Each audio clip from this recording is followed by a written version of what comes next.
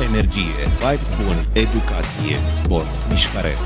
Bună seara, dragilor! Uh, bine v-am găsit la un nou, uh, un nou live, un nou interviu. De data asta, așa cum ați văzut din, uh, din postarea mea, va fi Neando.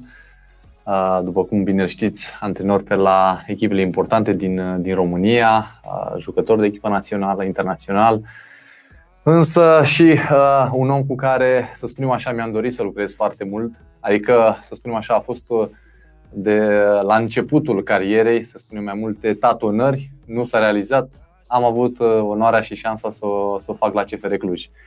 Așa că uh, mă bucur, Neandu este deja pregătit. Uh, o să-l adaug. Bună seara, Neandu! Bună, bună, Ionut! Mă bucur că te văd și că uh, facem legătura între noi în așa măsură, pentru prima dată pentru mine. La televiziune, la emisiuni de analiză, la, la analize de, de etapă, la analize în Liga Campionilor de asta, da, dar uite prima dată și mă bucur că poate să faci mare audiență. Eu mă bucur, eu vă mulțumesc, Neando, mulțumesc încă o dată că sunteți, uh, că sunteți aici prezent.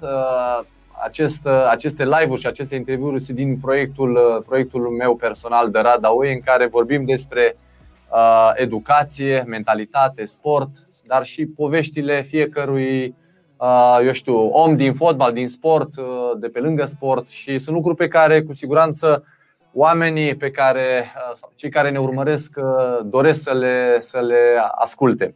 Neando le spuneam uh, oamenilor că mai de mult așa puteam noi să colaborăm, dar nu, s-a, nu s-au aliniat la potrivit. Tocmai la CFR Cluj am, uh, să spunem, am colaborat și mă bucur că uh, nu am ratat șansa asta, chiar și la uh, cât, pe cât 30 de ani, atunci când m-am întors din Germania. Da, bine, Ionuț, uh, la CFR a fost uh, ceva extraordinar și pentru mine.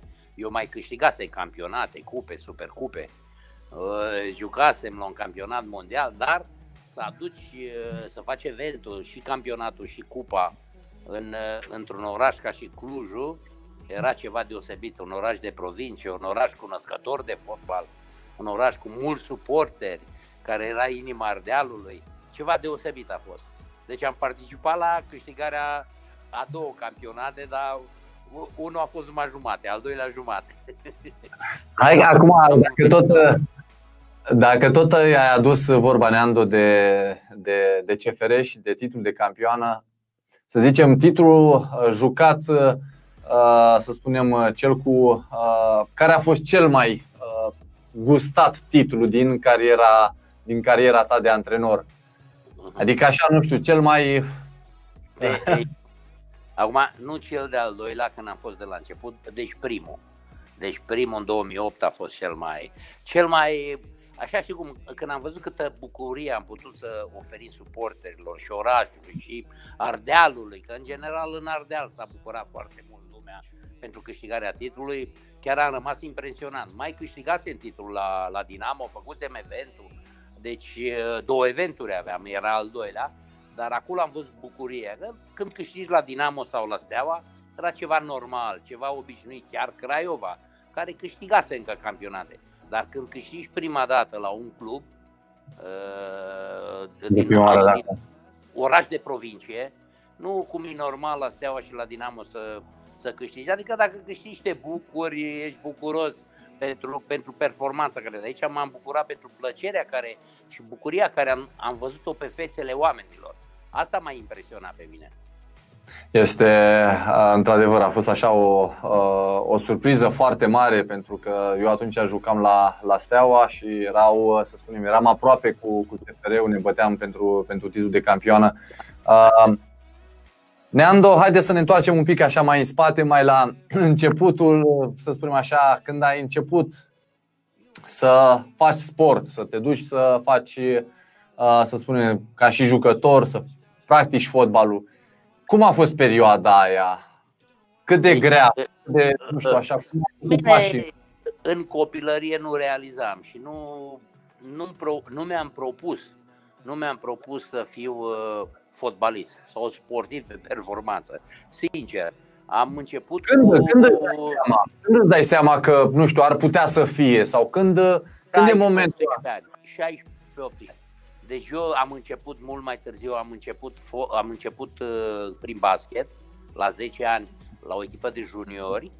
După aia, la 14 ani, m-am dus la fotbal. Am zis, domne, e o chestie că eram talentat, așa îmi spuneau. Eu jucam vârf de atac pe vremea aia, nu eram fundaș central. Că era cu marca în goluri, că nu știu ce, îți dai seama.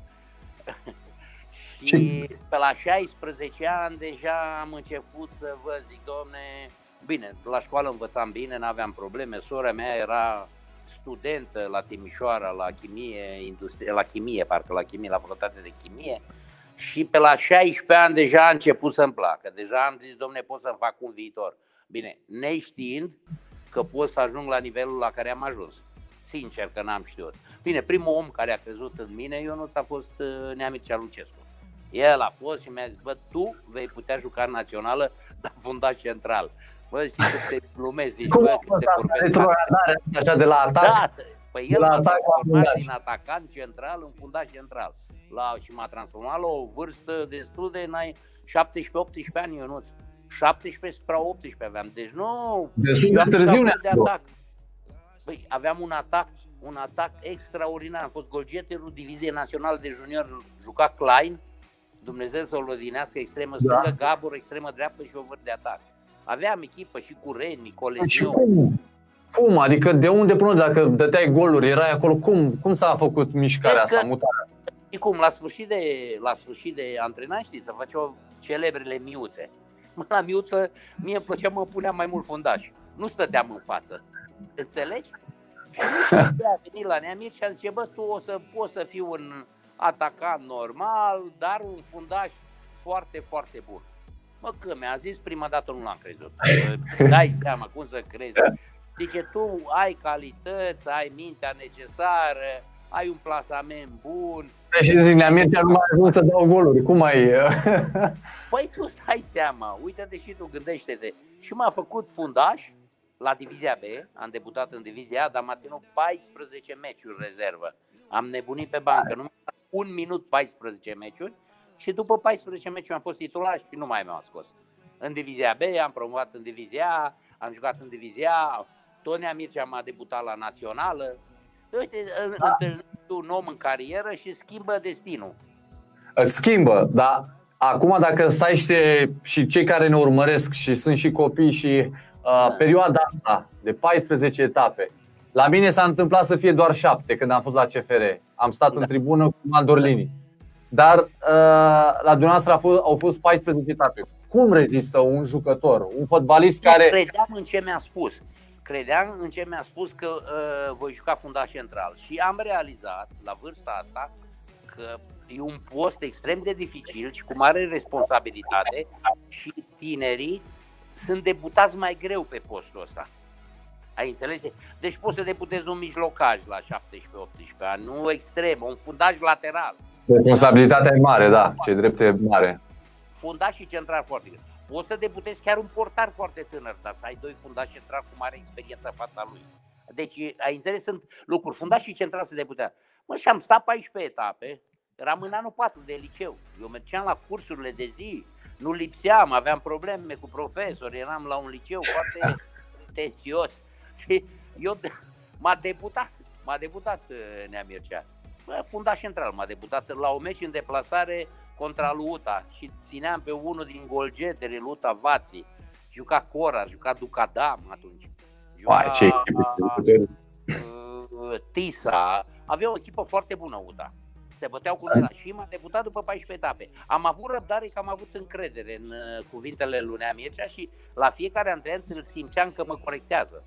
Înțelegeți? Asta. Avea grijă Că mă corecta, mai mă ținea după antrenament, mai îmi spunea cum, uite, atacantul când e cu spatele, n-ai voie să cauți să iei fața pe exterior, numai pe interior, trebuie să-l îndrezi spre piciorul bun a tău. Care... Deci lucruri amănunte care zi de zi eu îl vedeam preocupat, Ionuț. Asta, asta, asta vroiam să, să scot în evidență, uh, Neando, că chiar și dacă sunt perioade mai grele în care nu joci, nu te bagă antrenorul, cât de mult a contact Nea Mircea să uh, fie lângă dumneavoastră, să vă încurajeze, să vă învețe, să vă, cum să zic, să vă creeze un mediu unde v-ați putut dezvolta. Uh, Neando, multe felicitări primiți acum pe mesaje, pentru că văd mesajele. Uh, vă, vă salută și vă, vă spun, majoritatea transmit uh, felicitări pentru tot ce ați realizat ca și jucător, ca și antrenor. Dragilor, nu uitați like și distribuiți uh, mai departe uh, ca să vadă toată lumea emisiunea asta așa frumoasă. Da, revenind la chestia asta, Neando, exact de ce spuneam, cât de mult contează un antrenor care să susțină, chiar dacă nu-l joacă oficial pe un, pe un jucător? Bine, la jucătorii tineri, cei care sunt profesioniști, eu nu și 25-26 de ani, niciodată nu-l ții 14 etape. Corect, că corect. Mergeam corect. pregătit, a fost vreo 3 luni, 3 luni și ceva în care n-am jucat un minut. Îți dai seama ce nu că el păi și... era presiune pe mine, dar dacă el îl vedea... Cum, cum erai, Neando? Nu te enervai că nu aveai, nu știu... Aveam probleme la școală, îți dai seama, la școală, la liceu. Trebuia să, să am note bune, că taică meu nu prea era de acord cu să joc eu fotbal. Tatăl meu n-a călcat pe un stadion de fotbal până n-am jucat eu, ca să-ți dai seama. Deci nu da. prea o avea cu sportul tata. L-ai obligat până la urmă pe... Deci era cartea, pe, pe primul loc era cartea. Deci aia spunea, bă copile, sora ta e ingineră și tu. Sora mea era, era studentă în perioada aia. da. Eu nu știu cum. Sunt, sunt lucruri foarte importante pentru cei tineri. Să înțeleagă că le va veni rândul. Înțelegi? Și să, să creadă, dacă vor să facă. Sport. Și ce pot face ei în perioada asta în care nu joacă? Adică trebuie să ieși și partea bună a lucrurilor în momentul în care nu joci. Ce poți să faci? Să te dezvolți? Ce poți să faci? Să te antrenezi suplimentar, să, exact. să rămâi după antrenament și să-ți corectezi greșelile, uh, să vorbești și cu ceilalți mai bătrâni care joacă pe postul tău să te mai învețe. Una, alta, de la, de la tot ai, când ești tânăr, ai de învățat în continuu. Bine, ai și când bătrânești. ai de tot învățat. Timp, tot timpul, Neando. Uh, Neando, uh, am primit o întrebare, uh, cred că mi-am notat-o aici, despre fotbalul din Hunedoara. Ai plecat de acolo. Există vreo speranță în viitor apropiat ca Hunedoara să revină, eu știu, să aibă o echipă? Există. Bine, eu sunt consilier, consilierul primarului pe, pe sport pe tot municipiul. Există un proiect foarte bun. Acum facem o evaluare a mărcii, a palmaresului, a emblemei, să primăria să cumpere, să răscumpere, nu să cumpere, să răscumpere în urma unei evaluări a palmaresului și tot ce e. Și asta e primul lucru. Există un proiect înaintat deja la CNI pentru o nouă bază sportivă și o nouă academie la Hunedoara. Eu o văd cea mai bună baza sportivă, întâi îți trebuie infrastructura și o nouă academie. Deci primarul de la Hunedoara, Dan Băbăuțanu, e un băiat extraordinar care iubește foarte mult fotbalul. Și am avut niște dialoguri, m-a rugat să-l consiliez, am acceptat pe sport, dar în special pe, pe fotbal, pentru că Hunedoara a trăit din fotbal și vrea să revină și să se facă o academie da, de tradiție în fotbal românesc și ar fi păcat. Da, bine, e o zonă, o zonă extraordinară. doar au avut 5 echipe în divizia B și două echipe în Liga 1. Acum nu există decât două în divizia C. Da. Gândește-te și tu ce. Și asta că ai de unde selecționa. Deci tu crede-mă că eu cred că Unedoara fără probleme poate să aibă o echipă de divizia B și o academie de copii din jurul Hunedoarei. Din tot județul, din județele alăturate, dacă poți să le ofer condiții, școală copiilor, ascultăm că se poate face o academie foarte bună acolo. Da, se investește la nivel de copii și junior Neando? Bine, greu. Să știi că e foarte greu. E foarte greu. Investitori privați? un proiect, Investitori privați? Poftim?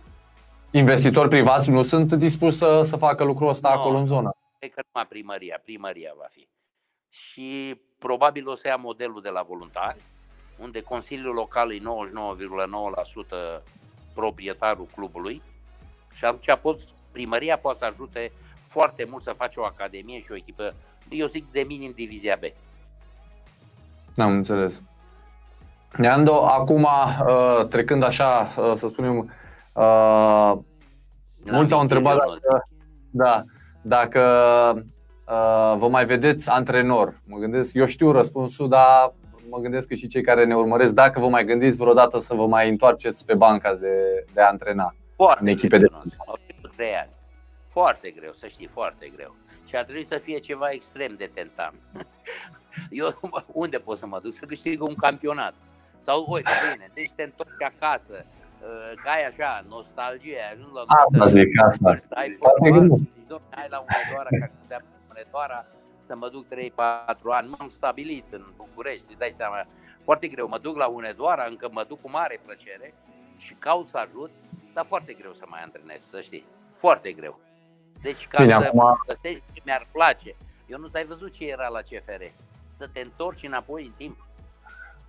Adică da, e asta zic. Liga campionilor nici nervii, nici nervii nu mai aveți, ca Ana, cum era înainte, era altfel. Erai, nu știu, pregătit pentru orice provocare. Acum nici nu mai... Deja vedeți lucrurile altfel, așa. Da. Văd că de trei ani sunt manager, președinte la club. Știi cum sunt probleme la club? Noi suntem un club mic, nou, nu avem tradiție. Vă place noua meserie. Salvând de la retrogradare, se fac și greșeli. Noi avem o academie, cred că una, una din cele mai mari din România, 670 de copii legitimați. Oh, Suntem, super. lumea nu știe ce e la voluntari. E ceva, dar ne mai trebuie terenuri de antrenament. Căutăm soluții, căutăm să, să putem să mai facem, înțelegi? Dar uh, copii foarte, foarte mulți. Neando, trecerea asta, să spunem acum, pentru că iar la fel vorbiți despre Academia uh, de la voluntari, trecerea asta de la juniori la profesioniști, uh, cum ar trebui să fie făcută în așa fel încât să fie integrați ușor acești jucători tineri? Sau eu care nu, primul ușor nu se poate. Eu nu, ușor nu se poate. Ideal, ideal ușor vorbesc între ghilimele, la da. modul da. că Da, deci eu nu. Deci dacă ai ai pe lângă o echipă de divizia C, cât de cât e mai ușor pentru copii să-i duci spre divizia Idealul e divizia B. Să ai un centru de junior foarte bun, să-i rodezi deja, să joci în divizia B numai cu jucători de 17-19 ani, nu mai mari, 20 deja să fie bătrân. Dacă la 20 de ani nu joacă în divizia B, să-și ia adio la Liga 1. Ai înțeles? Și după aia da. să-i dai după un an 2 de B, după un an 2 de, de divizia B, 60-70 de meciuri, deja poți să, să zici, domne, ăsta e jucător de A, ăsta poate să ajungă în cupele europene. Poate... Deci cam ăstea să-i treapta. Ideal e să ai divizia C, să ai divizia B, un club, înțelegi? Dar nu, îți trebuie o echipă de seniori intermediară. Și noi avem asta. Noi avem asta. Am, uh, să zicem că acum ai prins ambele uh, structuri, să spunem, cea cu tineretul, cum era înainte pentru echipă, pentru echipa mare și acum cu echipa a doua.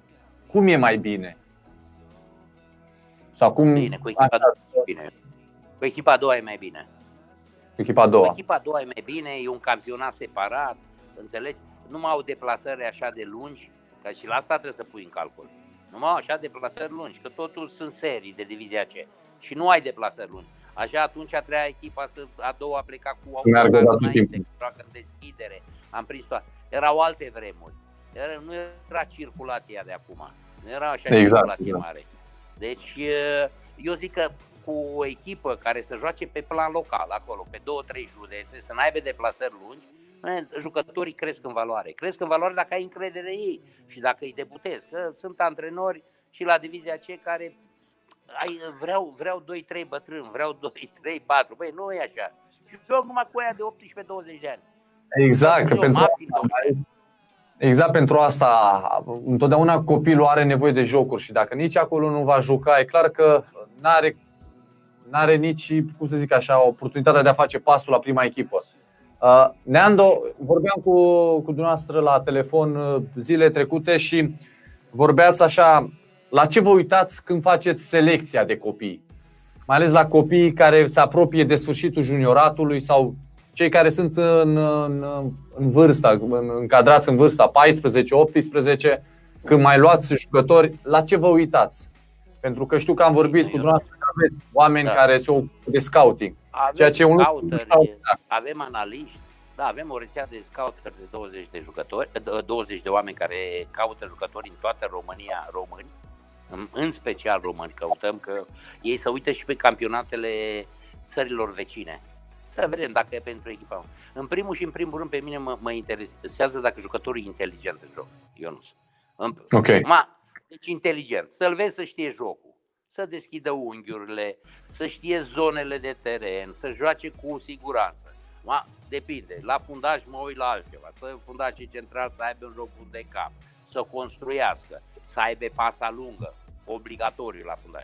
Fundașii laterali, să știe să centreze din viteze, să știe să închidă. La mijlocaș, în primul și în primul rând, să, să-i văd inteligența. Cum recuperează, cum dă drumul la pasă, cum preia mingea, știe să preia o minge în condiții de pressing uh, a echipei adversei, știe să joace cu spatele la poartă, la atacanți, cum simt culoarele, la Inter. Deci sunt foarte multe, adică întâi mă uit dacă sunt inteligenți. Da, asta e, vezi, Ionuț? După cum își da, preiau da. mingea, după cum deschid unghiurile de joc, Înțelegi? Nu trebuie neapărat. Dacă sunt pe părțile laterale, normal mă interesează jucători de viteză. N-aș jucat niciodată cu... Așa a fost felul meu. Mi-au plăcut ca jucătorii care joacă pe părțile laterale să aibă viteză. Asta e clar. Dar ceilalți mi-au trecut să aibă minte. Mie așa mi-au, jucătorii cu minte mi-au plăcut. Uh, Leandro și jucătorii cu personalitate? Ai avut probleme cu ei în carieră? ah, mai avut. Cum e? Auzi, Leandro, cum, e, cum e cumințit? Cum i-ai cumințit? Mă, bine, acum știi cum toată lumea te cunoaște. Ești fost internațional, repeți odată, dacă nu înțelegi odată, după aia se schimbă foaia. Tu știi că schimbăm foaia. bine, bine, n-am avut, am avut conflicte, dar puține. Bine, te nervezi cu el, îi trece. Ai câștigat meciul, îl îmbrățișești pe jucător. N-ai câștigat meciul, ai o problemă cu mine.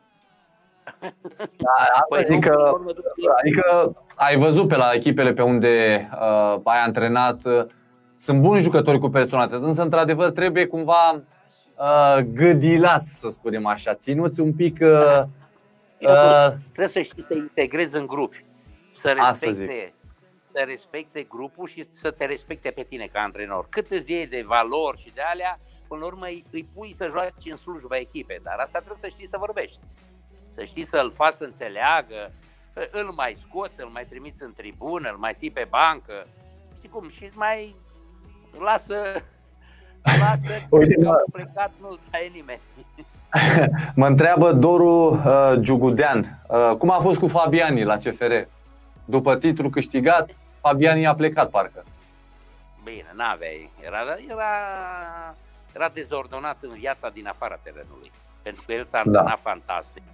Uh, era un tip dezordonat cu viața lui, extrasportivă, că de acolo a plecat el. Pentru că eu, să știi, ca jucător, când mi-a fost recomandat de Pascani, eu nu prea l-am vrut așa. Știi cum eram? Una, eu nu l-am vrut din cauza că costa 2 milioane. Și ziceam, Dumnezeule, dacă costă 2 milioane, trebuie, 2 milioane de dolari trebuie să-l bag titular. Trebuie să joace titular. Păi cum, dacă îl cumpără? Și da, fotbalist. L-am, la, la antrenament. La antrenament. Fotbalist bun, jucător foarte. Jucător de echipă. Viața extra sportivă la, l-a făcut să, să plece de la noi. Că altfel nu pleca niciodată. Fabian rămânea pe... Culio câți ani a rămas? Au venit în același timp. Și Culio și Fabian. Uite la Culio ce carieră a avut în România.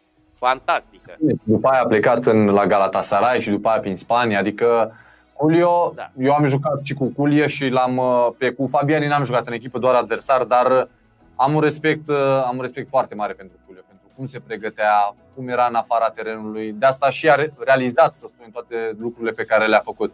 Uh, da, Neandro, mai, mai uh, talentat, eu a fost Fabiani, mai talentat cu mult. Da, da, da, da, da, da, da mult, mult. Ma viața uh, extrasportivă era, nu-l puteai controla. Asta zic că uh, și știm cazuri destul de multe în fotbalul românesc, așa cum acum îmi vine în minte cu Dănuț Lupu, cum Nea Mircea iar la fel știa să îl gestioneze. Uh, acum spuneți dumneavoastră de uh, Fabiani. Cât de greu este să lucrezi, să gestionezi astfel de jucători? Că iar la fel și cu Nea Mircea avea atunci o generație, să spunem așa, tare. Cât e da, greu da. pentru un antrenor să gestioneze atâtea personalități, caractere? Da. Bine, Fabian era din generația aia, din uh, echipa aia, el a fost tipul care extrasportiv nu, l-a, nu s-a putut controla, că de aia și s-a renunțat la el. Înțelegi? Dar el, în antrenament și în joc, își făcea treaba pentru echipă fantastic. Era un tip de sacrificiu, era un tip de grup, dar în momentul când se termina antrenamentul, timpul lui liber nu era de profesionist. Și lucrurile astea, când vezi că un an de zile continuă și nu, nu poate să se cumințească, să realizeze, să devină un profesionist, că viața asta e scurtă de fotbal. Nu e o, nu e o, nu e o viață de... Nu te pensionezi la 60 de ani. Înțelegi? Exact. Atunci, uite, l-a exclus grupul. S-a exclus el până la urmă. Au existat alte variante mai bune ca el. Și atunci... Asta e, până la urmă, Până la urmă și cei care urmăresc și copiii și părinții uh, trebuie să înțeleagă că nu doar talentul poate să reușească, să spunem, sau poate să fie un, o rețetă de succes pentru a ajunge, doar talentul.